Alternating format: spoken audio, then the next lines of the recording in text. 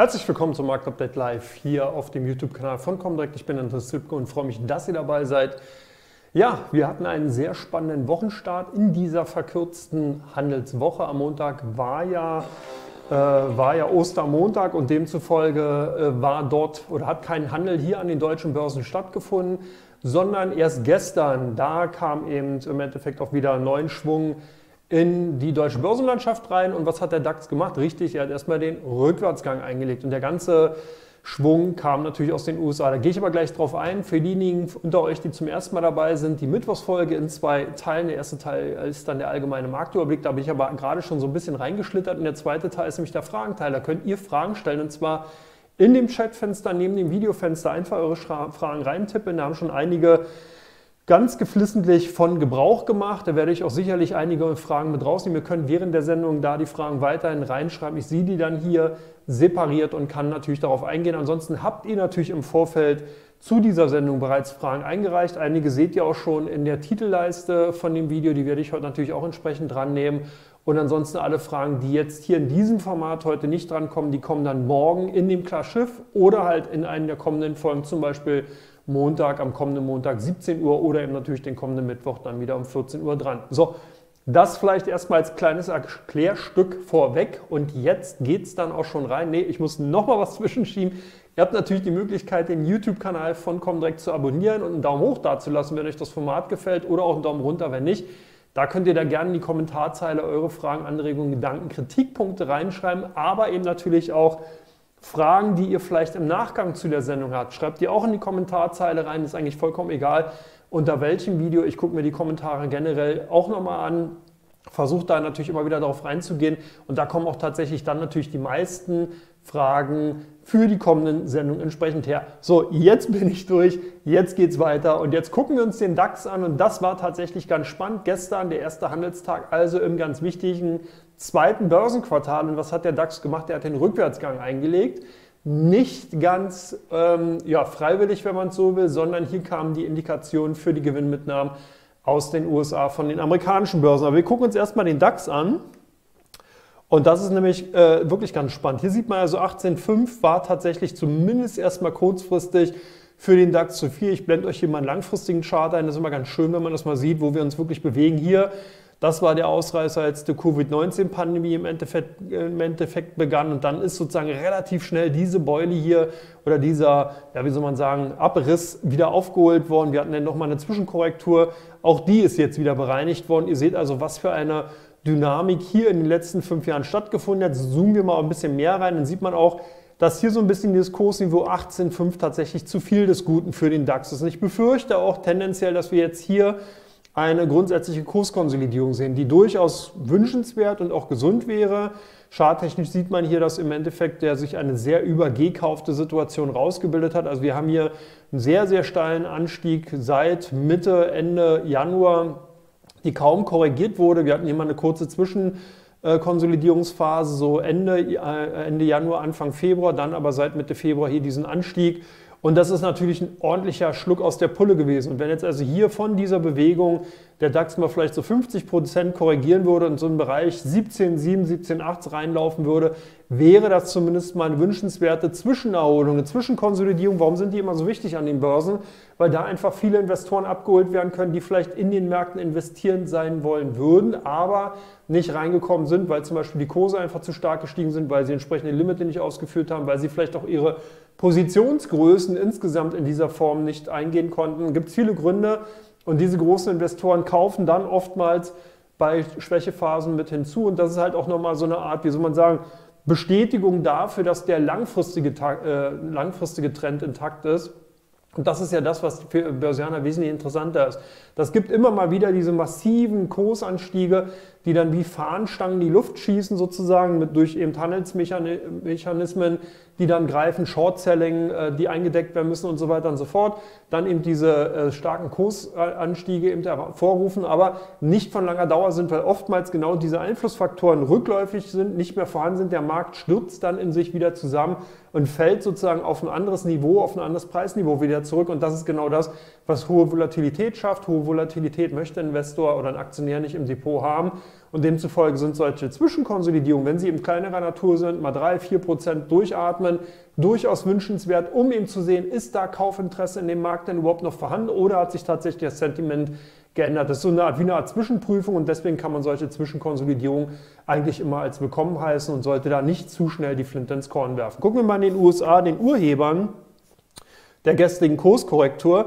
Was haben wir da gesehen? Ich bin so ein bisschen müßig, mich jetzt ständig über die Zinsängste auszulassen. Was wir jetzt gesehen haben, ist, dass die Marktteilnehmer also ihre Zinserwartung von 75 Basispunkte auf derzeit nur noch 65 Basispunkte in den USA zurückgenommen haben. Auch die Wahrscheinlichkeit ähm, einer Zinsanhebung bereits ähm, Juni ist von 63,5 Prozent, glaube ich, auf nur noch 56,8 Prozent gesunken.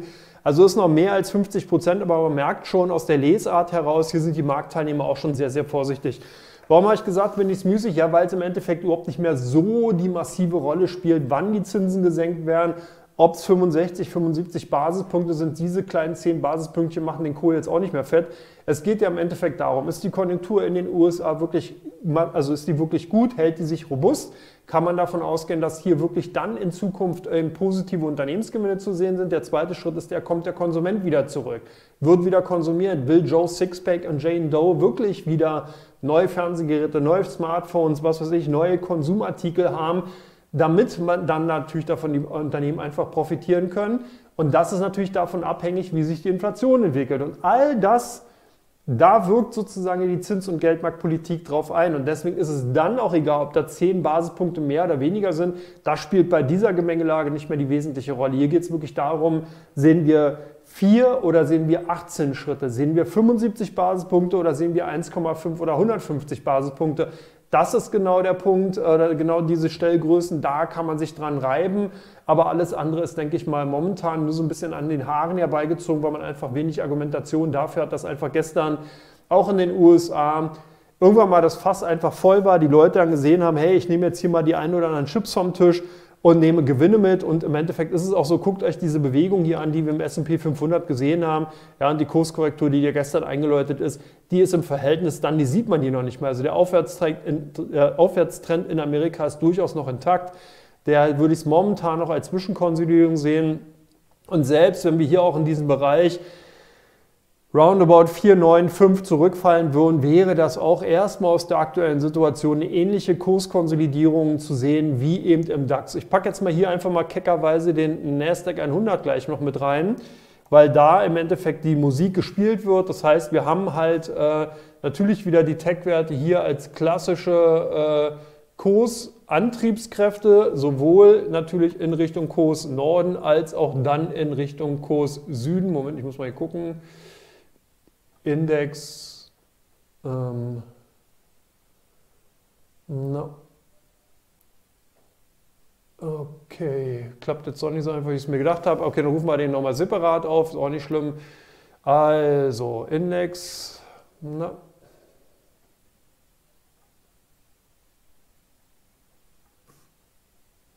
Und dann gucken wir uns den NASDAQ 100 an, der natürlich im weitesten Sinne genauso performt wie, also beziehungsweise in die gleiche Richtung läuft wie der S&P 500, bloß ein bisschen stärker natürlich in die eine oder andere Richtung ausschlägt, weil natürlich das äh, Markt, Marktbeta, also die größeren Bewegungsmomenti derzeit ganz klar bei den Tech-Werten zu finden sind. Und das sieht man halt auch hier, guckt euch hier auch die Kursbewegung im Nasdaq an, Nasdaq 100 hier auf fünf Jahre, was das für eine brachiale Aufwärtsbewegung seit dem vergangenen oder beziehungsweise seit 2023 hier ist, wirklich massiv nach oben geeilt.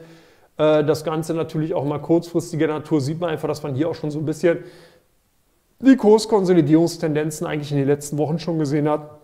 Und gestern der Kursrückgang tatsächlich eigentlich ja nur größtenteils so eine Zwischenstüppversite ist. Also in den USA sieht es tatsächlich nicht ganz so drastisch aus wie in Deutschland. Ich bin gespannt, ob der DAX sich tatsächlich fangen kann.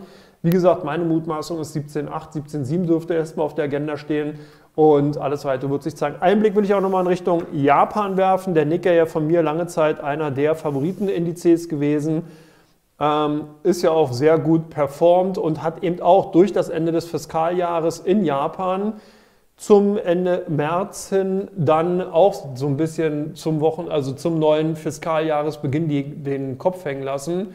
Das heißt, der Nikkei ist tatsächlich, hier ist er, in Japan gestern eben auch rückläufig gewesen, hat ordentlich, äh, beziehungsweise am Montag schon, hat ordentlich äh, äh, im Endeffekt äh, Punkte verloren. Ich hoffe, das sieht man hier, haben wir den? Ja.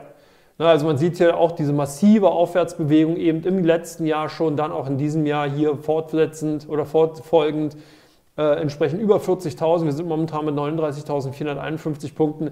Auch das verliert sich. Also wenn man das in dieser Gesamtkonstellation einfach ansieht, dann kann man sehr gut erkennen, dass einfach so eine Zwischenkorrektur durchaus mal notwendig ist. Also auch hier sehe ich durchaus Tendenzen dazu, dass einfach japanische Aktien eben aufgrund der Situation äh, US-Dollar-Yen-Verhältnis, dass der Yen eben sehr stark abgeschwächt hat in den letzten ähm, Monaten und natürlich Exportwerte unterstützt hat, jetzt das so ein bisschen den, das Finanzministerium bzw. Wirtschaftsministerium in China auf den Plan gerufen hat, die gesagt hat, hey, wir wollen einen nicht weiter schwächeren Yen sehen, sondern tendenziell jetzt eher eine, eine Warnung an die Spekulanten ausrufen, dass eben äh, weitere Short-Selling-Verkäufe im Yen gefährlich sein können. Und das spiegelt sich natürlich ein Stück weit auch auf die Exportwerte in Japan ab und übt dann im Endeffekt auch Druck auf den Nikkei-Index aus. Also diese Indizes heute mal mitgebracht für Teil 1. Jetzt geht es zu Teil 2. Ihr tickert hier fleißig schon äh, entsprechend in, die, in den äh, Chat rein. Das ist auch gut so.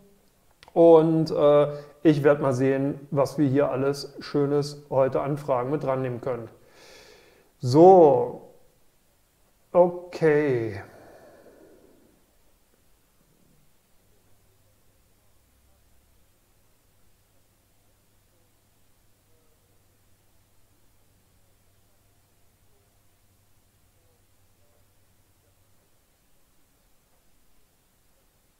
Gut, auf geht's. Und zwar, ich nehme als erstes die Cannabis-Aktien dran. Das ist nämlich eine schöne Frage. Tilray und Canopy Growth, die können wir gerne reinnehmen. Canopy Growth hatte ich, glaube ich, in der letzten Woche zwar schon, schon mal, aber wir können uns gerne mal die Unternehmen anschauen. Was ist da gerade passiert? Da ist, dreht gerade so ein bisschen der, äh, äh, ja, der äh, Fear of Missing Out Aspekt eine wesentliche Rolle. Das heißt, die Legalisierung in Deutschland hat natürlich auch auf die Cannabisunternehmen jetzt eingewirkt und äh, in dem Sinne, dass man denken könnte, dass die erst Speed oder, äh, oder Kokain als wirklich dann in diesem Fall Cannabis genommen haben. Die Aktien in den letzten Tagen wirklich buchstäblich durch die Börsendecke gegangen. Erstmal die langfristigen Chart, dann kann man das Ganze mal einordnen. Hier sozusagen dieser lange Leidensweg der Börsianer von Tilray habe ich jetzt hier mal reingenommen. Und man sieht in den letzten Tagen hier diesen massiven Anstieg in den Aktien von Tilray, was eben dadurch losgetreten wurde, dass der CEO von Canopy Growth, ein äh, kanadisches, ein kanadisches Cannabis-Unternehmen ihm gesagt hat, aufgrund der Legalisierung in Deutschland nimmt man jetzt an, dass eben der Markt für, Cannabis, äh, für medizinisches Cannabis ungefähr um Pi mal Daumen aufs 8- bis 10-fache für eben die zugelassenen medizinischen Cannabisunternehmen wachsen kann. Das heißt, man nimmt also jetzt an, dass die viele, die ähm, zum Beispiel erkrankt sind, Leiden, Nervenleiden haben, Schmerzpatienten, wie auch immer sind, unter Ernährungsprobleme, also äh, äh, Leiden oder andere äh, psychische Probleme haben, die kriegen dann oftmals oder kriegen können dann jetzt Cannabisprodukte äh, verschrieben bekommen und können diese medizinischen Cannabisprodukte sozusagen konsumieren und in, oftmals geht es dem Patienten dann in bestimmten Fällen auch besser.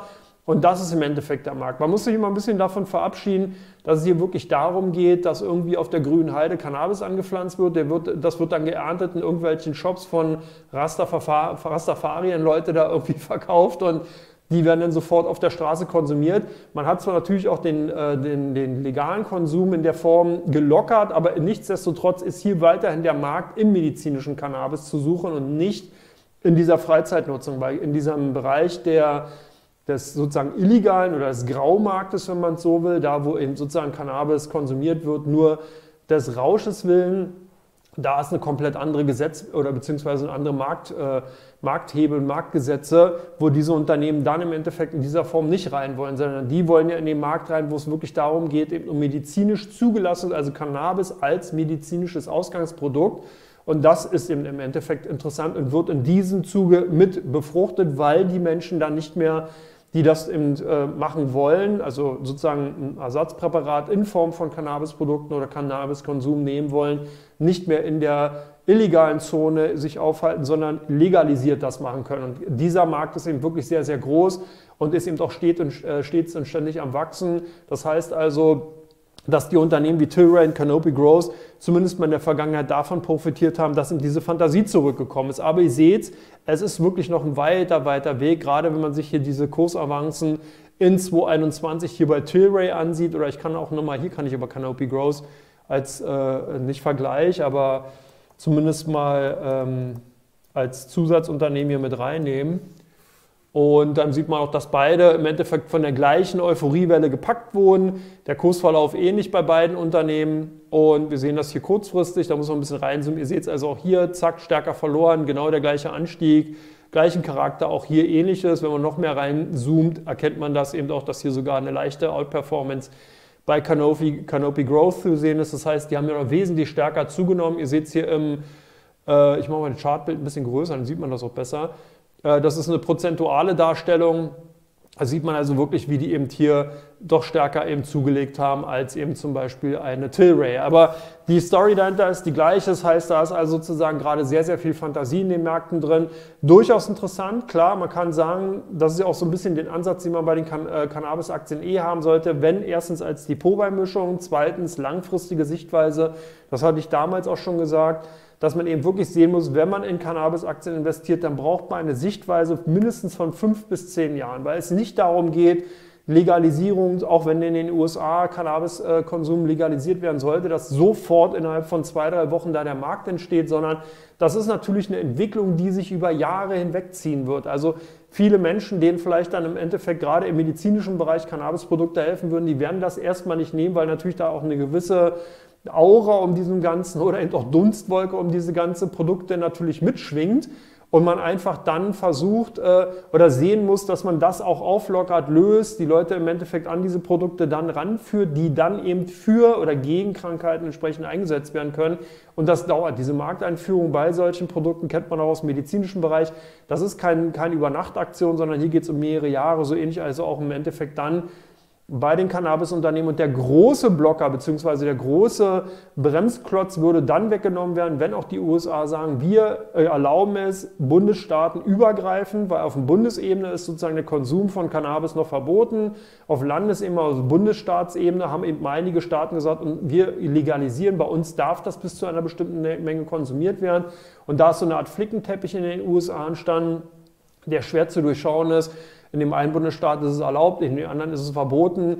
Und hier wartet man eben darauf, bis eben in den kompletten USA die Legalisierung erfolgt, sodass dann natürlich auch die großen Cannabisunternehmen wie die Tilray, Canopy Growth, Aurora Cannabis je nachdem dort wesentlich besser natürlich auch äh, in die Märkte rein können. Warum sind einige Unternehmen aus dem Bereich besser aufgestellt als die anderen? Weil es viele Unternehmen gibt, die einfach einen stärkeren Fokus auf Kanada haben, wo das Ganze schon bereits legalisiert ist und wo die kanadischen Unternehmen natürlich durch ihre Positionierung besser dastehen. Es gibt andere Unternehmen, die sich frühzeitig auf Nordamerika fokussiert haben, das heißt also USA und Kanada. Und wenn aber die USA halt nicht laufen und nur Kanada, dann hat man sozusagen die Kostenseite ja trotzdem eben in den USA weil man dort eben einige Shops betreibt, die aber nicht so viel abwerfen wie die in Kanada. Und das ist momentan die Situation. Das habe ich ein bisschen länger ausgeholt, war aber auch nochmal ganz wichtig, weil das Thema nicht wirklich ganz einfach zu greifen ist. Das ist auch der Unterschied, warum eine Tilray und eine Canopy eben unterschiedlich performt haben, weil natürlich das eine Unternehmen stärker international aufgestellt ist, zum Beispiel stärker auch in Deutschland präsent ist, als das andere Unternehmen, was eben wesentlich stärker in Kanada zum Beispiel positioniert ist und weniger davon profitiert, wenn zum Beispiel in anderen Ländern eine entsprechende äh, Legalisierung erfolgt, weil die davon schlichtweg nichts haben. So, jetzt gehe ich mal die, erstmal die ähm, Unternehmen aus der Headline durch und dann gucke ich mal weiter in dem Chat mal. Ich mache das mal so nebenbei, vielleicht kann ich das ein oder andere ähm, entsprechend hier mit reinnehmen. Wir gucken als erstes mal auf die Cancom. Das ist ein IT-Dienstleister aus Deutschland, den kennen vielleicht noch einige aus den Zeiten des neuen Marktes. Hat sich sehr stark im Bereich der IT, äh, der äh, Cloud Computings ähm, spezialisiert und hatte natürlich davon auch profitiert, dass wir eine IT-Digitalisierungswelle ähm, ja in Zeiten der Covid-19-Pandemie gesehen haben, die natürlich dann Unternehmen, die in diesem Bereich tätig sind, Moment, ich nehme mal hier die Canopy Growth raus, das macht ja keinen Sinn. Und mach mal den Chart ein bisschen größer. Also es geht hier um Cancom oder Cancom. Sondern sieht man das also hier genau, dass natürlich in Phasen der Digitalisierung eben das Unternehmen davon ähm, profitiert hat. Und jetzt ist einfach momentan so ein bisschen das Problem in diesem Bereich der äh, mittelgroßen IT-Dienstleister, dass man eben ähm, ja, noch nicht so richtig Schwung einfach in der Auftragslage sieht. Das Unternehmen hat eben zwar in den letzten Quartalen sehr stark an der, auf der Kostenseite gearbeitet. Das heißt, man hat hier äh, Sparen Effizienzprogramme und Maßnahmen eingeleitet, um eben die Kostenseite in den Griff zu kriegen. Aber die ähm, Umsatzseite, die will halt noch nicht so richtig in Schwung kommen. Das heißt also, ähm, hier muss man erstmal sehen, wie sich eben die Gesamtsituation darstellt. Ihr seht also auch hier, dass die Börsianer natürlich gerade, was Unternehmen aus der zweiten und dritten Reihe angeht, eben eher so ein paar Ressentiments hatten und ein bisschen Zurückhaltung gewahrt haben. Ich denke aber, dass das ganz spannend sein könnte, gerade mit Blick auf Jahresende. Also es ist natürlich ein ganz klassischer Konjunkturplay. Das heißt, wenn die Unternehmen insgesamt natürlich wieder mit einer aufkeimenden, mit einer auffällenden Konjunktur rechnen können, dann werden die natürlich auch wieder ihre Budgets im Bereich IT, im Bereich äh, äh, Cloud Computing und so weiter hochfahren, weil dann natürlich auch mehr Kapazitäten benötigt werden. Werden mehr Kapazitäten benötigt, geht natürlich die Auftragslage bei den IT-Dienstleistern, wie zum Beispiel einer Cancom nach oben und dann werden die davon profitieren. Das ist momentan genau die Situation. Das heißt, die äh, Investoren, Börsianer sitzen halt momentan in den Startlöchern und hoffen natürlich, dass sich die Gesamtsituation in der deutschen Konjunktur möglichst bald aufhält und dass dann dadurch natürlich auch wieder Drive reinkommt in den Unternehmensergebnissen und natürlich auch äh, rückwirkend dann oder beziehungsweise Rückkopplungseffekte auf entsprechende IT-Ausgaben stattfinden. Natürlich gibt es immer so eine Art Grundrauschen, weil ohne Digitalisierung, ohne IT kommen Unternehmen momentan nicht mehr klar. Das ist also eine Mehr davon auszugehen, dass die komplett ihre Budgets zurückfahren. Das machen sie nicht, aber neue Projekte werden einfach hinten angestellt, neue IT-Ausgaben werden erstmal sozusagen gekürzt, beziehungsweise dann eben wirklich nur auf Halblast gefahren. Und das ist ein bisschen die Situation. Eine Cancom dahingehend schon interessant. Die könnte man sich auf die Watch nehmen. Ich glaube aber tatsächlich, dass es jetzt im zweiten Quartal noch ein Ticken zu früh sein könnte, auf solche spezialisierten Unternehmen zu setzen. Ich könnte mir vorstellen, dass wir hier tatsächlich die ersten positiven Effekte erst zur zweiten Jahreshälfte sehen und äh, dann auch wirklich erst die richtigen Erfolge beziehungsweise auch dann äh, nachhaltigen Erfolge in das Jahr 2025 hinein. Also gerade im ersten Quartal 2025 dann sozusagen äh, richtige Hebelwirkungen sich entfalten. Also eine interessante Unternehmung für die Watchlist. Momentan denke ich noch einen Ticken zu früh, aber ähm, wie gesagt nicht uninteressant. Gucken wir auf das nächste Unternehmen, B2Gold. Super spannend, was momentan im Goldsektor abgeht. Wer heute oder wer die Goldpreisnotierung ja verfolgt, weiß, dass Gold momentan auf Rekordkursniveau ist. Ich glaube, wir waren heute bei 2285 oder sowas, wenn ich es noch richtig in Erinnerung habe. Also wir sind hier wirklich buchstäblich durch die Decke. Und momentan fehlt so ein bisschen die, äh, genau, 85, ihr seht es hier, ich mache mal einen Langfristchart rein, damit man erstmal äh, so ein Gefühl dafür hat, wo wir also goldtechnisch gerade sind. Und hier wird sich vielleicht der eine oder andere natürlich so ein bisschen verwundert, die Augen rein, Moment mal, wir haben festen US-Dollar, wir haben äh, rückläufige Zinsen, beziehungsweise wir haben ansteigende Zinsen gehabt, wir haben eine rückläufige Inflation. Trotzdem steigt das Gold wirklich seit einigen Wochen, Monaten kontinuierlich an. Und das ist natürlich eine interessante Situation, weil eigentlich viele Aspekte genau dagegen sprechen können. Das Interessante ist, dass diese Zurückhaltung zum Gold sich nicht im Gold zeigt, sondern bei den Goldminenaktien. Ob es jetzt zum Beispiel hier so eine B2 Gold ist, die vom Gold, vom Kursverlauf vom Gold, und jetzt mache ich folgendes, ich packe die mal hier als ähm, Kurs oder als Chartbild mit in das äh, entsprechende Moment. B2 Gold, sieht man die überhaupt? Naja, so lange gibt es die auch noch gar nicht. Ich gehe mal auf zwei Jahre. Genau, hier mal rein, dann sieht man das nämlich sehr schön, was passiert. Ihr seht, also nicht verwundert die Augen rein, aber es ist genau gegenläufig gewesen. Und zwar, die Goldminen haben genau das wieder gespiegelt, was sozusagen die Markterwartung ist. Das, was aber eigentlich im Gold momentan sich derzeit nicht darstellt. Und das ist halt genau das Spannende. Hier seht ihr es auf dem 5-Jahres-Chart, sonst laufen die immer mit. Also ihr seht es hier, Gold läuft hoch, Goldminen, in diesem Fall B2 Gold läuft mit, Gold fällt, die Aktienkurse der Goldminenaktien fallen, Gold steigt wieder und so weiter und so weiter. Hier sieht man es gut. Und seit diesem Jahr, was ist das, 2021 genau, sieht man eine Schere, die eben auseinandergeht. Das heißt also, die, das ist jetzt hier exemplarisch, da könnte man auch viele andere äh, entsprechende äh, Goldminenunternehmen nehmen.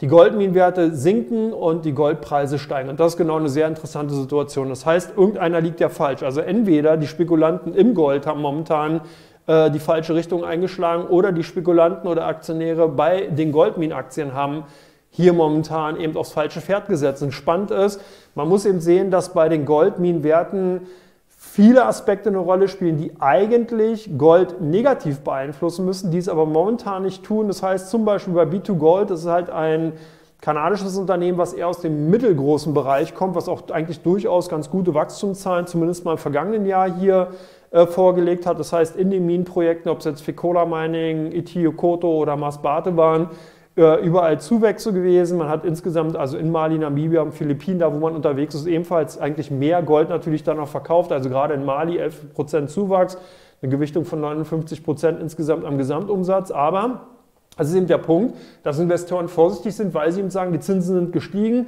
Viele Projekte von Rohstoffunternehmen werden kreditfinanziert vorgenommen. Das heißt, hier hat man zum einen die Problematik höhere Finanzierungskosten bei der nächsten Finanzierungsrunde, beziehungsweise die Frage, ob diese Unternehmen dann überhaupt nochmal in dieser Form äh, finanziert werden. Und das ist genau das Problem. Das heißt also, oftmals sind die Förderkosten bei vielen Unternehmen gestiegen und damit werden dann tatsächlich, obwohl die Goldpreise steigen, manche Projekte für diese Goldminenunternehmen einfach unrentabel bzw. uninteressant. Das heißt, die fahren ihre Produktion zurück, Goldpreis steigt also, die Unternehmen verkaufen aber weniger Gold im Endeffekt oder fördern weniger und dadurch steigt nämlich der Goldpreis.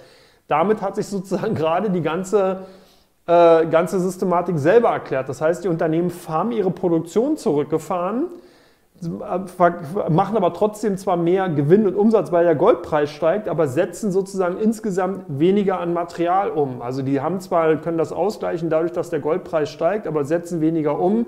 Bedeutet also, dass man das noch momentan auffangen kann. Wenn jetzt also der Goldpreis auch noch rückläufig ist, hätte man sozusagen den doppelten Rückkopplungseffekt. Und das ist so momentan diese Problematik, warum viele bei Gold eher vorsichtig sind, gerade bei Goldminenaktien.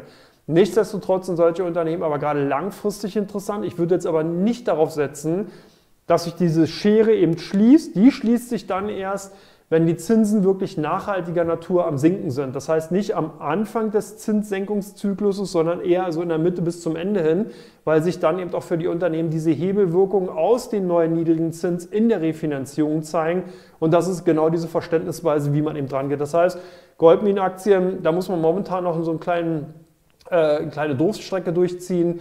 Also weniger los, also ist losgekoppelt, das wollte ich im Endeffekt auch nochmal zeigen, vom aktuellen Goldpreis, was ganz spannend ist. Und ich habe gerade so ein bisschen versucht darzulegen, wie diese Rückkopplungseffekte wirken, warum sozusagen Gold steigt, aber die Goldminenunternehmen teilweise eben im Kurswert fallen, weil die Investoren genau das sehen. Weniger Umsatz, trotzdem Goldpreis ist gestiegen, Gewinne steigen trotzdem oder beziehungsweise Umsätze steigen trotzdem, Gewinne sind aber teilweise äh, entweder gleich geblieben oder leicht rückläufig, weil die Kosten wieder umgestiegen sind und so weiter. Also das ist sozusagen die Situation, die eben äh, vorzufinden ist. Goldminen, aber insgesamt langfristig durchaus interessant, wenn man als Depotbeimischung die Werte reinnimmt. So ein bisschen, wenn man also schon gut strukturiertes Depot hat, man hat schon ein paar Standardwerte drin, ein paar Technologieaktien, dann sollte man aus meiner Sicht heraus auch durchaus mal die eine oder andere Goldminenaktien haben, weil die nämlich zum Beispiel teilweise durch wirklich ordentliche Dividendenrenditen glänzen.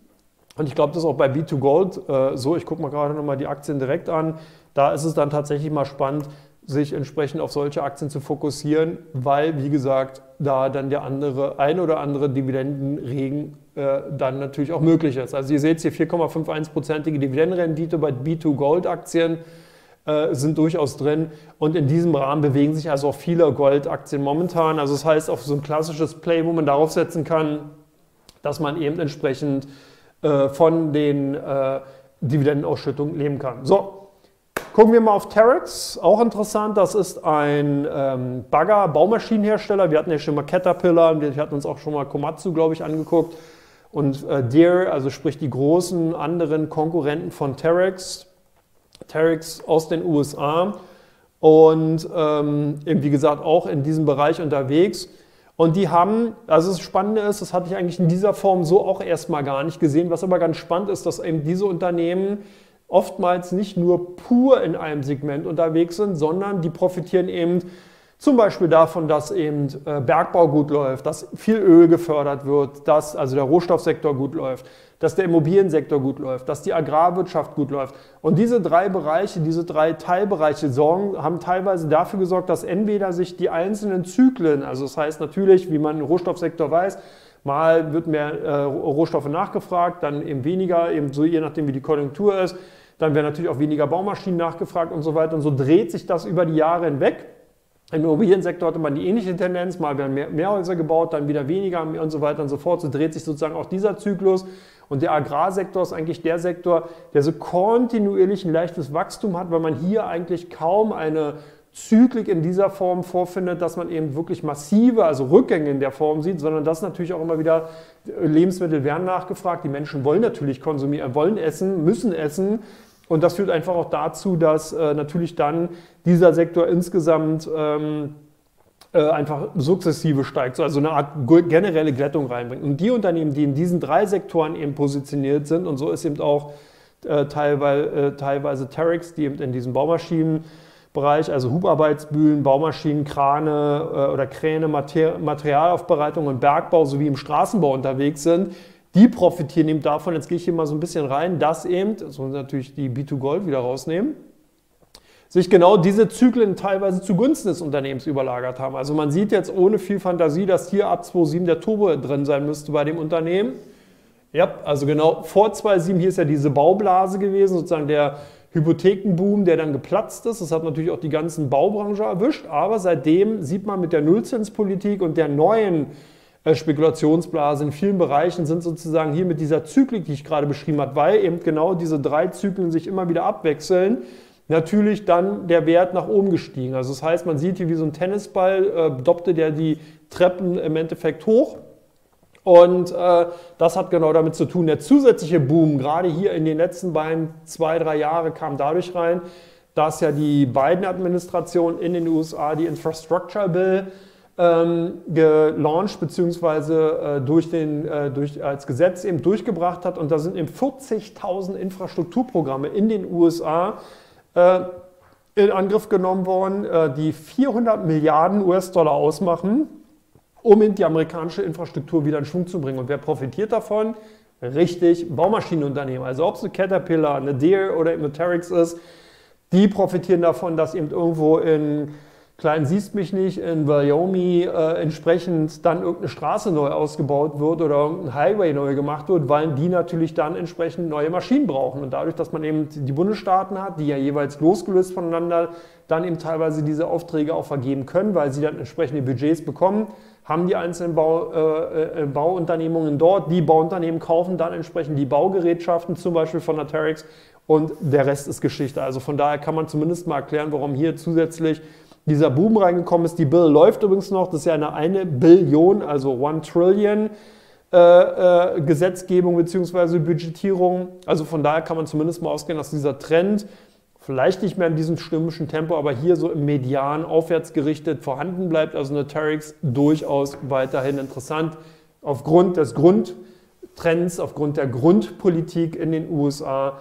kann man das ähm, entsprechend mal in Angriff nehmen. So, damit bin ich mit den Wunsch- bzw. mit den Headline-Aktien durch. Ich habe jetzt gerade mit Einblick schon gesehen, Nike, Under Armour und äh, was, irgendwas mit Adidas, war die auch mit bei? Ähm, anyway, nee, glaube ich nicht. Wir nehmen die mal mit rein. Komm, wir gucken uns mal die, die großen Sportartikelhersteller an. Das ist nämlich ganz spannend.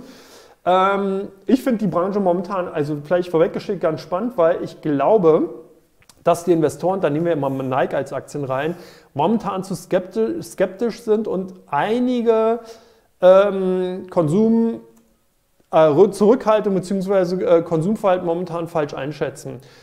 Der Sportartikelbereich wird ja im Wesentlichen durch drei äh, wichtige Faktoren beeinflusst. Und zwar der eine ist natürlich rein das Sportequipment, also das heißt dann wirklich die sportliche Aktivität. Ihr kauft euch ein paar Laufschuhe und rennt um die, um die Häuser, um entsprechend euch fit zu halten. Der zweite wichtige Bereich, der auch teilweise gerade diesen ersten Bereich in vielen Einzelbereichen überholt hat, ist der Fashion-Aspekt. Das heißt zum Beispiel Marken wie äh, bei Nike jetzt die Jordan oder sowas, die profitieren ja nicht davon, dass die Leute jetzt alle Basketball spielen wie die Verrückten, sondern die haben natürlich davon profitiert, dass die Marke Jordan als Fashion-Brand im Endeffekt so durchgeschlagen hat, dass halt die Leute sich das eben aus rein Fashion-Aspekten gekauft haben und nicht unbedingt Basketball gespielt haben. Und der dritte Aspekt ist so ein bisschen, ich nenne es jetzt mal das, das Branding. Das heißt halt, dass zum Beispiel Nike ab 2027 ja die deutsche Bundesliga-Nationalmannschaft äh, sponsoren wird.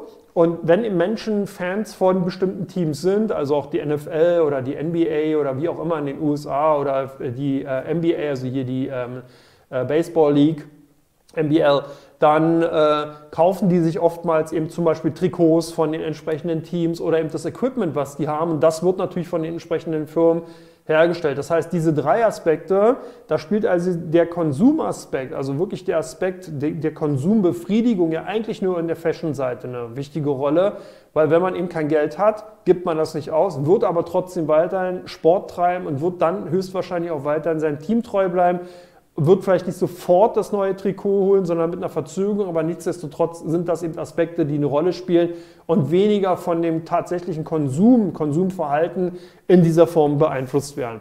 Was wir jetzt hier gerade bei den Nike-Aktien zum Beispiel sehen, die kam zuletzt ja mit einer mit einem Profit Warning, weil die eben noch teilweise relativ hohe Lagerbestände haben, die erst langsam abgebaut werden müssen. Das heißt, man macht diesen Abverkauf dann durch Preisreduktion.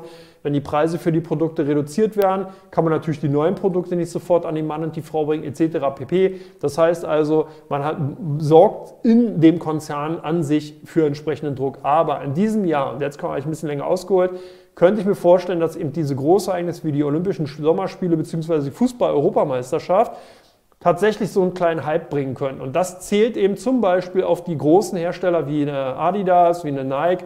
Da komme ich mal die Adidas hier mit rein. Die Under Armour, die gucken wir uns gleich mal separiert an, weil da noch eine Sonderlocke ist.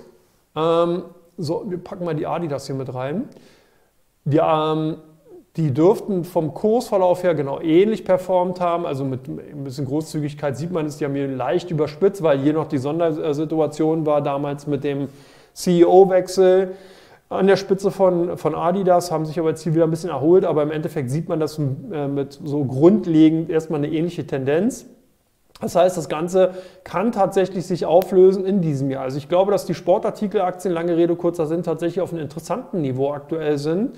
Und bei Nike speziell würde ich hier so ein bisschen gucken, ob dieser Kursbereich hier als Unterstützung hält. Das heißt also, wenn in den nächsten Tagen hier sich die Kurse vielleicht auf diesem Niveau konsolidieren oder auf diesem unteren Niveau eben eine, eine Seitwärtsbewegung ausbilden, dann glaube ich schon, dass die fürs Jahresende tatsächlich ganz interessant aussehen. Bei der Adidas erkennt man ja auch schon so leicht diesen Aufwärtstrend, der sich in den letzten Monaten ausgebildet hat. Natürlich hier und da mal mit der einen oder anderen Konsolidierung zwischen, aber Worauf ich hinaus will, ist, dass ich tatsächlich sehe, dass bei den Sportartikelherstellern eine andere, ein anderes Konsumverhalten zu sehen ist als bei vielen, vielen anderen klassischen Konsumartikelherstellern. Und demzufolge finde ich die Aktien eben ganz interessant, weil die eben jetzt in diesem Jahr viele Impulse bekommen, viel Initiale, um wieder den Konsum anzukurbeln und eben entsprechende Produkte an den Mann und die Frau bringen zu können.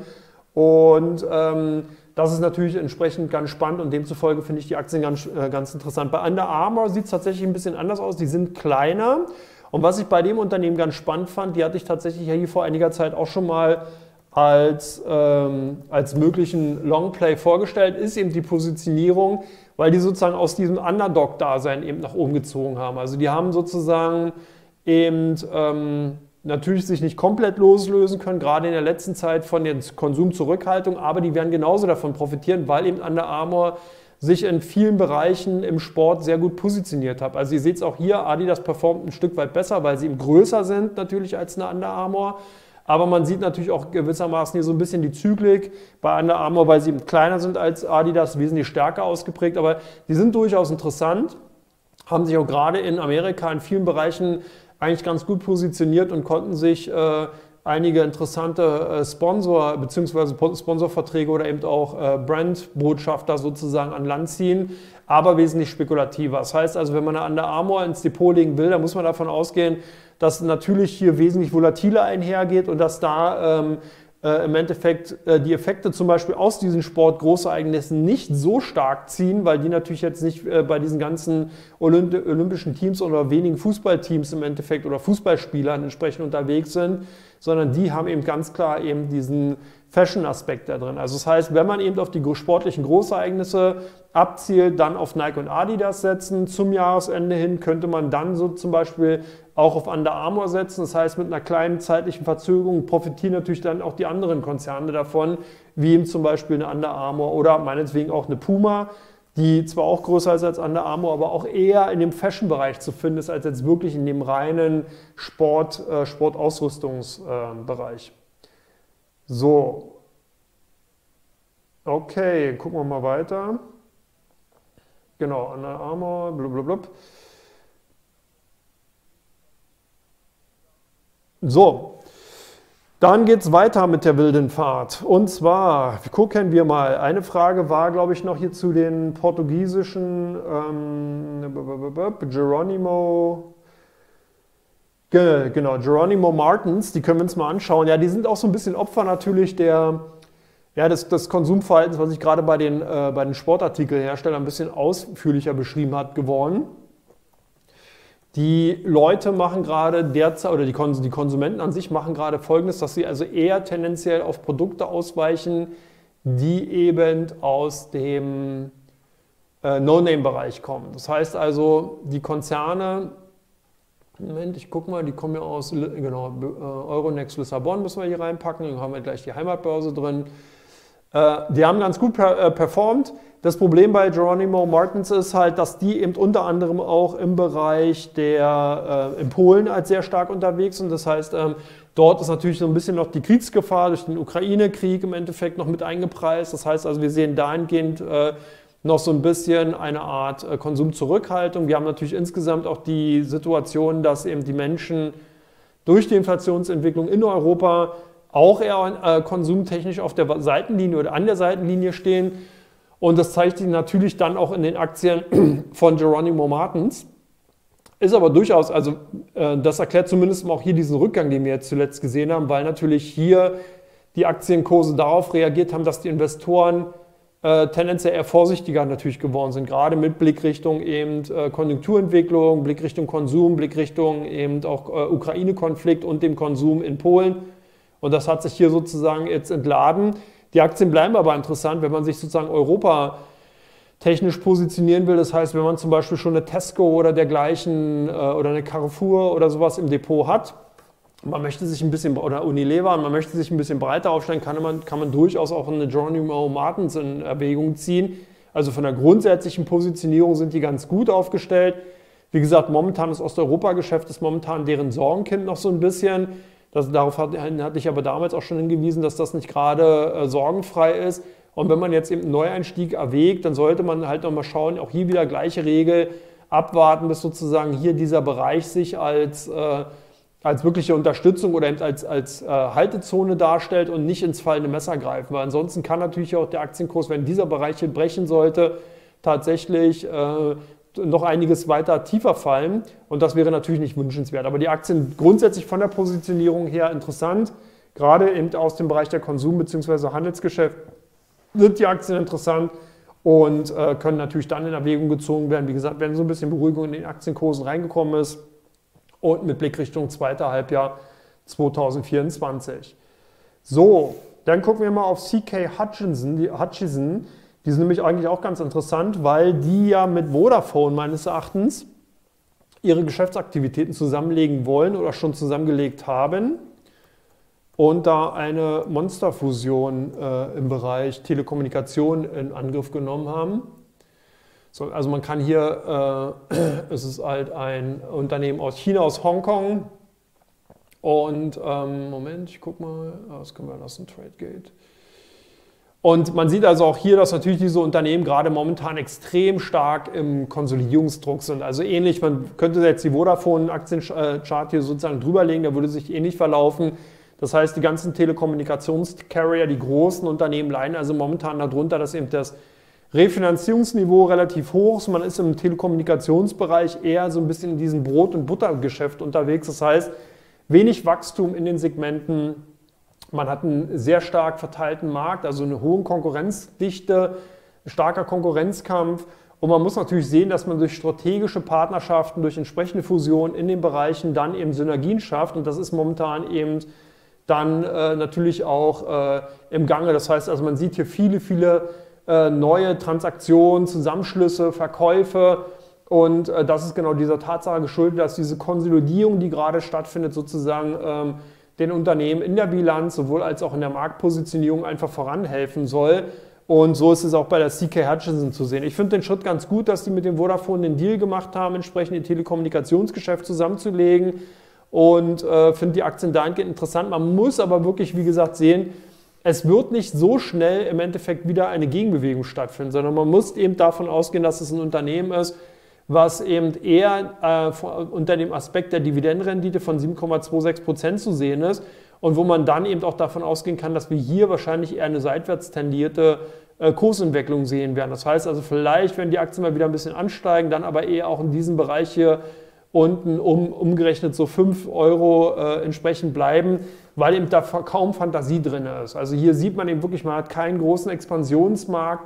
Also hier ist es nicht so wie eine KI oder dergleichen, dass man eben sagen kann, dadurch kommen neue Geschäftsfelder oder dadurch wird eben sehr, sehr viel im Telekommunikationsbereich passieren, sondern das geht eben dann, wenn zum Beispiel Internet of Things äh, durch die 5G-Technologie mehr nach vorne getragen wird und noch wesentlich stärker in den Vordergrund rückt und dadurch die Unternehmen dann neue Dienstleistungen anbieten können. Also hier muss noch einiges passieren. Man merkt es auch gerade zum Beispiel in Deutschland, Kabelnetze werden neu äh, verlegt, neu ausgebaut, das kostet alles Geld und das belastet halt erstmal. Man hat es auch bei anderen Unternehmen gesehen. International ist die Situation also ähnlich. Das heißt, äh, unter dem Aspekt klassisch eher unter dem, äh, äh, eher, eher, unter dem Aspekt zu sehen, dass man tendenziell, ähm, äh, dass man eher tendenziell von der ähm, Dividendenrendite sozusagen äh, ausgehen kann, als wirklich dann hier von einem klassischen Growth-Unternehmen zu sprechen. Gucken wir mal auf das nächste Unternehmen, das ist die Shell PLC, ein englischer ähm, Rohstoffwert. Wobei es ganz spannend ist, wir sehen momentan eine unheimliche Transformation in dem Sektor. Die Total Energies äh, ähm, aus ähm, Frankreich hat es vorgemacht, das heißt, die fokussieren sich stark auf nur den Energiesektor. Das heißt also, die haben sich losgelöst oder losgesagt von dem Bereich fossile Brennstoffe und eher in Richtung Energie insgesamt. Und Shell geht den gleichen Weg. Finde ich ganz spannend. Man hat also hier, ist dabei, ähm, äh, Tankstellen zu verkaufen. Jetzt macht man das eher in so einem kleinen Schritt. Man hat also jetzt will bis Ende 2025 500 der weltweit 47.000 Tankstellen äh, entsprechend entweder verkaufen oder stilllegen und will diese Transformation nutzen und sich wesentlich stärker im Bereich des, äh, der Ladestation für Elektroautos fokussieren. Und das tut den Aktienkurs eigentlich ganz gut aus zweierlei Dingen heraus. Zum einen, weil man natürlich damit äh, ein Geschäftsfeld betritt, was gerade für solch große, strukturell gut aufgestellte Unternehmen wie eben Tankstellenbetreiber, und das hatte ich auch schon mal zu dem Aspekt Wasserstoff damals gesagt, ideal ist. Das heißt also, wenn ich ein großes Infrastrukturnetz habe und da jetzt sozusagen Ladesäulen aufbaue, dann ist das natürlich mega clever, weil die Infrastruktur ist ja schon da. Wenn die also damals, wenn Wasserstoff im Endeffekt dann eben salonfähig geworden wäre und auch mehr Wasserstoffautos verkauft worden wären, dann wäre natürlich für Tankstellen es ideal gewesen, dort entsprechende Wasserstoffzapfsäulen aufzubauen. Die kosten wirklich eine Stange Geld, die Ladesäulen ja ebenfalls, weil die ja die Struktur schon haben. Man kann ja nicht einfach irgendwo, man sieht zwar hier, dass Ladesäulen hier und da mal aufgebaut werden, aber trotzdem können die nicht überall aufgebaut werden, weil es halt relativ schwierig ist mit, den, mit der Stromversorgung und den Genehmigungsverfahren. Aber bei den Tankstellen hat man zumindest mal schon mal diese Grundstruktur halt da. Und das ist eben ganz spannend. Also das heißt, äh, ähm, Shell hat sich eben in einem äh, hausinternen äh, Transformationsprogramm, Energy Transition Strategy heißt die, dazu eben verschrieben, dass man eben die Ladesäulen auf 54.000 Ladepunkte bis 2030 auf 200.000 fast vervier, also vervierfachen will. Im Gegenzug dazu dann aber die Tankstellen eher abbaut. Das heißt also jetzt bis Ende 2025 soll ungefähr 1% der Tankstellen äh, entsprechend verkauft oder abgebaut werden. Und im Gegenzug dazu will man eben die Ladesäulen ausbauen. Also eigentlich baut man da sozusagen noch mehr Filialen, wenn man es so will, auf. Und das ist eigentlich eine ganz spannende Strategie. Lange Rede, kurzer Sinn.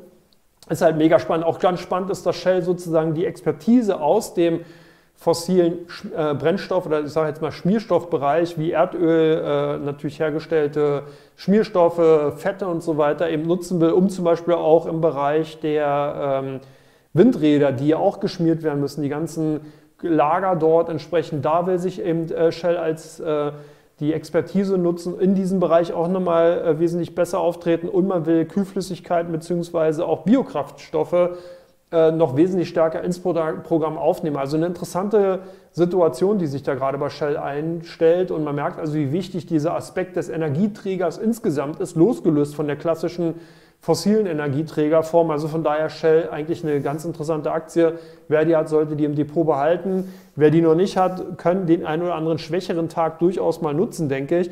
Die Aktien sind interessant, man sieht, man kriegt eine ordentliche Dividendenrendite von 5,29 Prozent. Die Aktien haben sich auch ganz gut wieder aus dem Tal der Trini erholt. Und ich denke, dass zumindest mal auch perspektivisch diese, diese Änderung des, der Geschäftspolitik, also diese Neupositionierung, durchaus positiv eben für Shell entsprechend zu werten ist. So. Okay.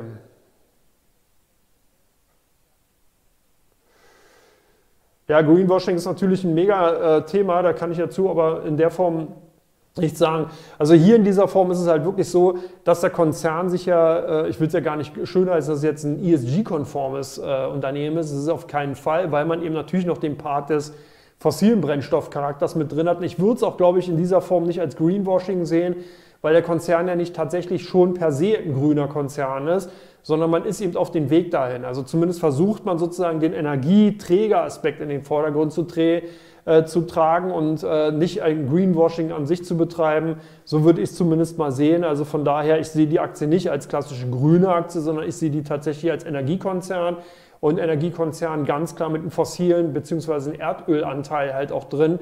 Und äh, so muss man das Ganze sehen. Also von daher an dieser Stelle nochmal ganz klar darauf hingewiesen. Ähm, so, gucken wir uns das nächste Unternehmen, die SSE PLC, an. Das ist ein englischer Erdgasversorgungs- und Stromversorgungs- bzw. Telekommunikationsunternehmen. Die hatten wir auch schon mal vor einiger Zeit. Ich bin ja so als Depotbeimischung ein Fan von diesen Unternehmen, die aus dem Infrastrukturbereich kommen, sei es jetzt eben solche Unternehmen wie die SSE oder eben auch wie die äh, National Grid oder eben auch äh, äh, Pipeline-Betreiber und so weiter, weil die ja eben ein Geschäft haben, mit einer hohen Markteintrittsbarriere, mit einem Geschäftsfeld, was man eben äh, im Endeffekt immer braucht. Das heißt, die Leitungswege, die Netzwege werden immer benötigt. Und ähm, äh, so ist es halt auch bei dem Konzern. Bloß hier muss man natürlich auch sehen, es ist halt mit viel Aufwand verbunden. Das heißt, man hat hohe Kosten. So ist dann auch gewesen, dass der Konzern zwischen April und September äh, einen Vorsteuerverlust von 511 Millionen britischen Pfund umgerechnet 581 Millionen äh, Euro verzeichnet hat, gegenüber einem Gewinn von 1,7 Millionen Pfund im Vorjahreszeitraum. Und das hat natürlich mit höheren Kosten zu tun, weil man eben entsprechend die Netze ausbauen, man muss die verbuddeln, Erdbauarbeiten sind teuer und so weiter und so fort, aber es sind Investitionen in die Zukunft. Und das finde ich halt ganz spannend. Das heißt also, das Unternehmen wächst insgesamt. Man sieht das also, wenn man sich das Energieportfolio-Unternehmen äh, oder Energieportfolio-Management-Bereich anguckt, der 35 Prozent ausmacht, der ist um 100 Prozent gewachsen. Im Bereich der Energy Customer Solutions hat man ebenfalls ein Wachstum von 45 bis 50 Prozent. Also man ist hier schon sehr, sehr weit dabei. Das heißt, man hat also sozusagen die Erzeugung von äh, Strom beziehungsweise dann entsprechend die Belieferung der Kunden als auch natürlich die Verwaltung von entsprechenden Stromverteilungs- und Übertragungsnetzanlagen, also für zum Beispiel Drittkonzerne, Dritt Parteien. Und das insgesamt macht der Konzern. Und da ist natürlich gerade, wenn man dann neue Leitungswege baut, neue Netze entsprechend installiert, hat man erstmal die Kosten und kann die dann erst über die Jahre folgend natürlich die Gewinne einfahren. Und das ist immer so ein bisschen die Situation, gerade bei so einem, äh, wie soll man sagen, Infrastrukturbetreiber. Die müssen also erstmal in Vorleistung gehen, ehe sie dann eben danach die Gelder einfangen können. Das ist ja auch klar, man kann nicht zu den Kunden gehen und sagen, hey, wir haben da vor, einen Leitungsweg zu bauen, bezahlt mal jetzt schon mal, damit ihr in ein, zwei Jahren dann die Leitung benutzen könnt, sondern die Leitung oder beziehungsweise Leitungswege werden ja dann von den Kunden benutzt, wenn sie da sind und die bezahlen dann. Das heißt, die Vorleistung muss alles dann einfach erfolgen und so ist es bei der SSI auch. Ich finde solche Unternehmen, wie gesagt, aus dem defensiven Bereich heraus durchaus interessant und würde mir die dann immer mal so ein bisschen äh, auf, der, auf die Agenda nehmen, beziehungsweise wenn man schon sehr stark aggressiv fokussiertes Portfolio hat, wenn man zum Beispiel viele Tech-Aktien hat, dann sind das so eine Aktien, die so ein bisschen für Ruhe im Depot sorgen können, aber sozusagen natürlich von der allgemeinen Marktstimmung auch natürlich dann oftmals profitieren können. So. Der SU7, der ist tatsächlich schon äh, von äh, Xiaomi. Der ist tatsächlich schon im Verkauf, bisher jetzt nur in China, aber der wird auch, ähm, zumindest soll der auch weltweit angeboten werden, aber man hat es auch schon bei BYD gesehen, ist natürlich viel äh, erstmal mit Kooperationen. Also ich vermute auch, dass Xiaomi erstmal mit irgendwelchen äh, äh, entsprechenden ja, Vertragspartnern, jetzt nicht natürlich den großen Autokonzernen, sondern irgendwelchen Autohändlern, Autohändlergruppen agieren wird, um dort die entsprechenden Modelle dann natürlich auch mit ins Programm zu nehmen. Aber ist durchaus interessant. Ja. Also der SU7, der läuft momentan wie geschnitten Brot in China. Und ähm, das ist durchaus ein sehr, sehr cleverer äh, Schachzug gewesen, den Xiaomi da vorgenommen hat. Und ihr seht ja auch, die Aktien haben, ich rufe die jetzt einfach mal hier ad hoc mit auf, weil gerade die Frage reinkam, ähm, haben ja in, in der letzten Zeit ganz gut performt.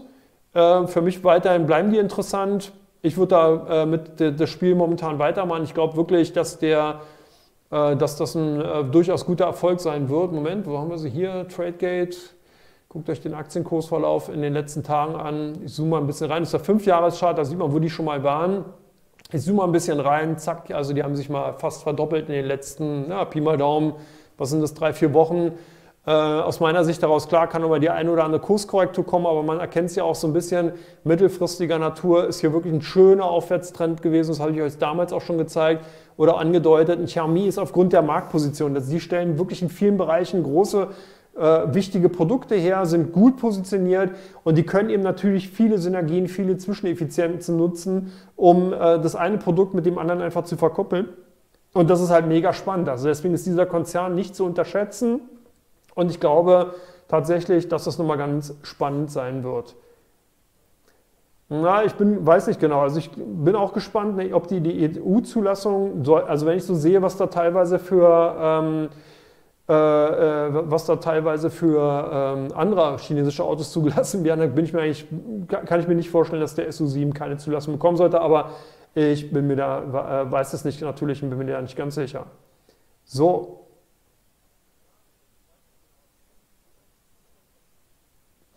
Okay, gucke ich mal weiter.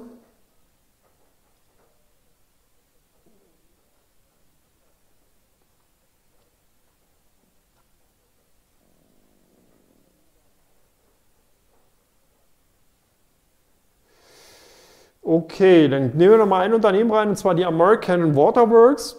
Auch ganz spannend. Äh, ein Unternehmen aus den USA im Bereich der äh, Wasseraufbereitung bzw. Wasserversorgung. Das Unternehmen hat eben 3,5 äh, Millionen Kunden im vergangenen Jahr entsprechend versorgt und ist, glaube ich, sogar in allen Bundesstaaten in den USA vertreten, wenn ich es richtig in Erinnerung habe. Ähm, was hier ganz spannend ist, wir haben also auch einen klassischen Versorgerwert und ähm, ähm, der eben davon natürlich profitiert, dass eben äh, die, äh, die staatliche Seite sozusagen hier der Auftraggeber eben ist, dass also sozusagen Wasseraufbereitungs-, Wasseranlagen, Wasserleitungen, zum Beispiel für Militärbasen, Wohngebäude, Geschäftsräume und so weiter äh, insgesamt dann eben von diesem Unternehmen betrieben werden. Äh, Im vergangenen Jahr konnte der äh, Umsatz um 11,8 Prozent gesteigert werden. In den USA natürlich macht man mit dem Wassergeschäft einen Umsatz von 93 Prozent. Der Gesamtumsatz wird eben in, äh, in den USA erwirtschaftet. Und ähm, was ganz spannend ist, dass hier tatsächlich das der Fall ist, die Wasserpreise, die werden also tatsächlich von den einzelnen Staaten festgelegt. Also das heißt, hier kann nicht das Unternehmen jetzt kommen und sagen, hey, wir erhöhen einfach mal die Wasserpreise, sondern in den USA dürfen also nur die Bundesstaaten ähm, eben durch Anträge von den entsprechenden Unternehmen die Preise erhöhen. Also lang, das ist auch der Grund, warum man natürlich immer wieder mal hier diese Zwischenbewegung, äh, Zwischenkonsolidierung sieht. Sonst würde man ja denken, okay, ist ja eigentlich auch ein Idiotengeschäft. Das heißt, man ist eben, positioniert sich als Versorgungsunternehmen und erhöht einfach mal die Preise. Das funktioniert halt nicht, sondern es gibt eben auch Phasen, wo natürlich die Bundesstaaten dann sagen, nö, wir wollen nicht oder ihr dürft die Preise momentan nicht erhöhen. Äh, entsprechend habt, ist dann natürlich auch kein Unternehmenswachstum oder beziehungsweise kein Umsatzwachstum zu sehen. Und die, diese Phasen hat man. Jetzt ist aber eben der Antrag gestellt worden von dem Unternehmen in mehreren Bundesstaaten eben die äh, Anhebung der Wassergebühren entsprechend vorzunehmen. Und das könnte natürlich hier, wenn man langfristiger Natur mal so ein bisschen sieht, nochmal zu, so für so einen kleinen Kicker sorgen. Also die American Waterworks finde ich durchaus interessant. Bewertung mit dem 23er KGV spiegelt diesen defensiven Charakter wieder. Könnte auch eine Aktie sein, die gerade jetzt bei der bevorstehenden oder möglicherweise Kurskonsolidierung in den Aktienmärkten nochmal ganz interessant sein könnte, weil die ja sozusagen davon losgelöst sind. Das heißt, nicht so stark mit dem Markt laufen, sondern tendenziell eher äh, negatives Beta bzw. entgegengesetzt der laufen, also nicht korrelativ laufen, sondern eben entgegengesetzt und dahingehend diesen defensiven Charakter nochmal spielen. Also durchaus interessant, hier perspektivisch natürlich auch langfristiger Charakter, kurzfristige Naturen äh, werden damit jetzt nicht unbedingt glücklich, weil eben natürlich kaum Impulse, kaum schnelle Handelsbewegungen drin sind und das sollte man vielleicht nochmal wissen. So, damit bin ich durch. Ich bedanke mich, dass ihr dabei seid. Wenn euch das Format gefällt, lasst einen Daumen hoch da, wenn nicht einen Daumen runter. Ich habe schon gesehen, viele gehen zu Markus Koch rüber. Grüßt ihn mal ganz schön von mir, den lieben Markus. Und ansonsten viel Spaß bei äh, Wall Street entsprechend äh, von Markus Koch. Und ansonsten natürlich danke, dass ihr dabei wart. Viel Erfolg an den Börsen und wenn ihr Lust habt, schaltet auch morgen hier bei dem entsprechenden Klarschiff wieder ein. Da geht es nämlich dann um die Aktien, die heute nicht angekommen sind, beziehungsweise natürlich auch die Aktien, die ihr gerne in die Kommentarzeile reinschreiben lässt. Würde mich freuen. Ich wünsche euch alles Gute. Macht's gut. Bis dann. Ciao, ciao.